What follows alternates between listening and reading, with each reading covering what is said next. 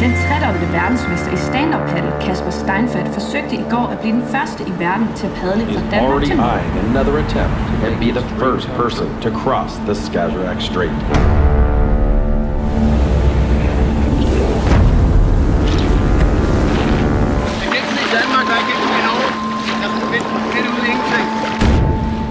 Hvad er det, du gør, og hvorfor gør du det?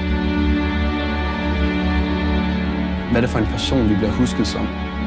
Er det, er det for vores præstationer, eller er det for vores karakter?